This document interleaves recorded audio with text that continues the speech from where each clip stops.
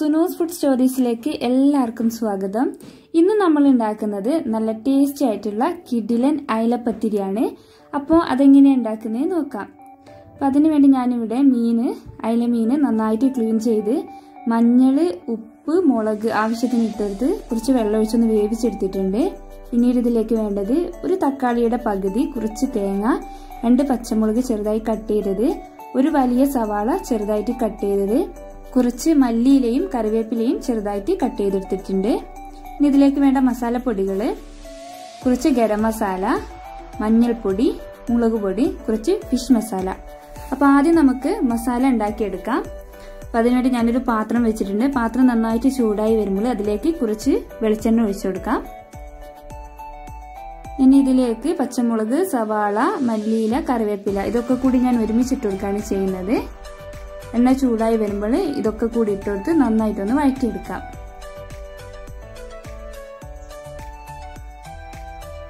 പെട്ടെന്ന് വഴന്ന് കിട്ടാൻ വേണ്ടി ഇതിലേക്ക് കുറച്ച് ഉപ്പ് കൂടി ചേർത്ത് കൊടുക്കാം.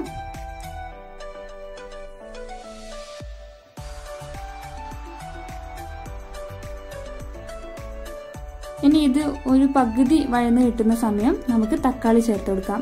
ഒരു വലിയ തക്കാളിയുടെ നേർ പകുതിയാണ് ഞാൻ എടുത്തിരിക്കുന്നത്. ചെറിയ പീസാക്കി ഇട്ടെടുത്തു ഇനി ചെറിയ തക്കാളി ആണെന്നുണ്ടെങ്കിൽ അത് മൊത്തമായിട്ട് എടുക്കാം.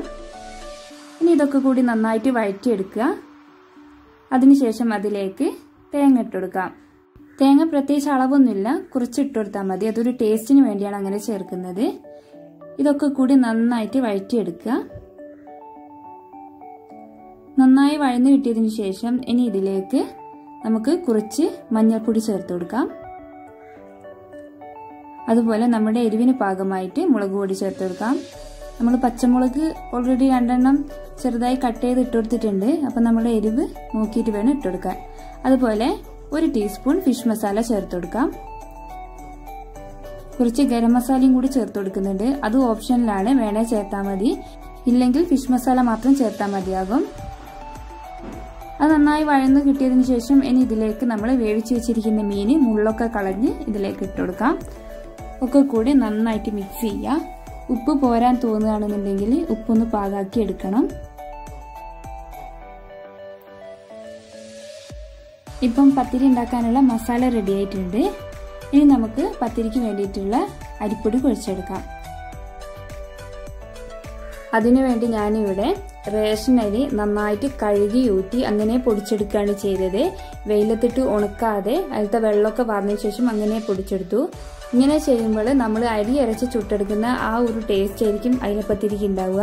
അങ്ങനെ ചെയ്യുന്നതാണ് കൂടുതൽ ടേസ്റ്റ് ഇനി ഇതില്ലാന്നുണ്ടെങ്കിൽ സാധാരണ നമ്മൾ അരിപ്പൊടിയും ഇതുപോലെ നമുക്ക് കുഴച്ചെടുത്ത് ചെയ്യാം. ഇതിലേക്ക് ആവശ്യത്തിനുള്ള ഉപ്പിട്ട് കൊടുത്ത് അതിലേക്ക് കുറച്ച് കുറച്ചായി വെള്ളം ഒഴിച്ച് നന്നായിട്ട് കുഴച്ചെടുക്കുക. ഇങ്ങനെ പൊടിപ്പിച്ചതായതുകൊണ്ട് നമ്മൾ പച്ചവെള്ളമാണ് ഇതിലേക്ക് ചേർക്കുന്നത്. അല്ലാതെ വെയിലത്തിട്ട് ഉണക്കി എടുക്കുന്ന പച്ചരിപ്പൊടിയോ അല്ലെങ്കിൽ പുഴുങ്ങലരി പൊടിയോ ആണെങ്കിൽ നമ്മൾ തിളച്ച വെള്ളത്തിലാണ് പൊടി കുഴക്കേണ്ടത് അങ്ങനെ നമ്മളാണത് നല്ല സോഫ്റ്റായി കിട്ടുകയുള്ളൂ. പക്ഷെ ഇങ്ങനെ പൊടിപ്പിച്ചതായതുകൊണ്ട് നമുക്ക് പച്ചവെള്ളത്തിൽ കുഴച്ചാൽ മതി. അരി അരച്ചെടുക്കുന്നത് എങ്ങനെയാണോ അതേ രീതിയിലായിരിക്കും നമ്മൾ ഇങ്ങനെ പൊടി പൊടിപ്പിച്ച് കുഴച്ചെടുക്കുമ്പോൾ. ഇങ്ങനെ ചെയ്യുന്നതാണ് അതിലപ്പത്തേക്ക് കൂടുതൽ ടേസ്റ്റ് അപ്പോൾ നിങ്ങളെന്റെ വീഡിയോസൊക്കെ ആദ്യമായിട്ട് കാണുന്നെങ്കിൽ ചാനൽ സബ്സ്ക്രൈബ് ചെയ്യാൻ മറക്കരുത്. അതിന്റെ കൂടെയുള്ള ബെല്ലൈക്കണോട് ക്ലിക്ക് ചെയ്യുക. എന്നാലേ എന്റെ വീഡിയോസൊക്കെ നോട്ടിഫിക്കേഷനായിട്ട് കിട്ടുകയുള്ളൂ. അപ്പോൾ എല്ലാവരും ചാനൽ സബ്സ്ക്രൈബ് ചെയ്ത് സപ്പോർട്ട് ചെയ്യണം. ഇപ്പം നമ്മൾ നന്നായിട്ട് കുഴച്ചെടുത്തിട്ടുണ്ട്. നമ്മൾ അരി അരച്ചെടുത്താൽ എങ്ങനെ ഉണ്ടാകും അതേ രീതിയിലായി കിട്ടിയിട്ടുണ്ട്. ഇനി നമുക്ക് പത്തിരി പരത്തിയെടുക്കാം. അപ്പോൾ അതിനു വേണ്ടി ഞാനിവിടെ കുറച്ച് വാഴയില എടുത്തിട്ടുണ്ട്. വാഴയില ഇതേപോലെ കുറച്ച് വീതിയിലാണത്. കട്ട് ചെയ്തെടുത്തിരിക്കുന്നത്. ഇനി ഇതിലേക്ക് നമുക്ക് പരത്തിയെടുക്കാം. ഒരു ബോൾ വലുപ്പത്തിന് വലിയൊരു ബോൾ വലുപ്പത്തിന് ഇതേപോലെ പരത്തിയെടുക്കാം കൈവിരലുകൾ വെച്ചിട്ട് നന്നായിട്ട് അത് റൊട്ടേറ്റ് ചെയ്തതും പരത്തിയെടുക്കുക. നല്ല രീതിയിൽ അതൊന്ന് വിടർത്തി പരത്തിയെടുക്കണം. ഒരു പത്തിരി ഉണ്ടാക്കാൻ ഇതേ രീതിയിൽ രണ്ടെണ്ണം പരത്തിയെടുക്കുകയാണ് ചെയ്യേണ്ടത്. അപ്പം നമ്മൾ ഒന്ന് പരത്തിയെടുത്തിട്ടുണ്ട്. ഇനി അതുപോലെ ഒന്നുകൂടി പരത്തിയെടുക്കാം. അതേ അളവിൽ വലിയ ബോളാക്കി എടുത്തിട്ട് ഇതുപോലെ നന്നായിട്ട് അതൊന്ന് പരത്തിയെടുക്കുക. അപ്പം നമ്മൾ രണ്ടെണ്ണം പരത്തിയെടുത്തിട്ടുണ്ട്. ഇനി നമ്മൾ ചെയ്യുന്നത് ഇതിൽ ഒന്നിൽ മാത്രമാണ് നമ്മൾ മസാല ഇട്ടുകൊടുക്കുന്നത് ഒരുപാട് കുത്തി നിറച്ച് മസാല ഇട്ടുകൊടുക്കരുത് കുറച്ച് മസാല ഇട്ടുകൊടുക്കുക എന്നിട്ട് ഇതേ രീതിയിൽ അതൊന്ന് പരത്തി ഇട്ടുകൊടുക്കുക അങ്ങനെയാണ് ചെയ്യേണ്ടത്. നമ്മൾ പരത്തിയെടുക്കുന്ന പത്തിരിക്കനുസരിച്ച് മസാല ഇട്ട് കൊടുക്കണം പ്രത്യേകം ശ്രദ്ധിക്കണം. ഒരുപാട് മസാല ഇട്ട് കൊടുക്കുമ്പോൾ നമുക്കത് വെന്ത് കിട്ടാൻ ഒരുപാട് സമയം എടുക്കും. ഇതേ രീതിയിൽ കുറച്ച് മസാല ഇട്ട് കൊടുത്ത് നന്നായിട്ട് പരത്തിയെടുക്കുക. അതിനുശേഷം നമ്മൾ പരത്തി വെച്ചിരിക്കുന്ന മറ്റേ പത്തിരി അതിന്റെ മുകളിൽ കറക്റ്റ് ഷേപ്പ് ചെയ്ത് ഇട്ട് കൊടുക്കുക. എന്നിട്ടത് നന്നായിട്ട് ഒന്ന് പ്രസ് ചെയ്ത് കൊടുക്കുക. നല്ല രീതിയിൽ അതൊന്ന് പ്രസ് ചെയ്ത് കൊടുത്തതിന് ശേഷം നമുക്കിനി ഇത് ആവിക്ക് വെച്ച് വേവിക്കാം. ഏകദേശം ഒരു ഇരുപത്തഞ്ച് മിനിറ്റോളം നന്നായിട്ട് അതൊന്ന് ആവിക്ക് വെച്ച് വേവിച്ചെടുക്കാം. നന്നായിട്ട് വെന്ത് കിട്ടണം. ഞാൻ രണ്ടെണ്ണം ഉണ്ടാക്കിയത് കൊണ്ട് രണ്ടെണ്ണം ഒരുമിച്ചാണ് വെക്കുന്നത്.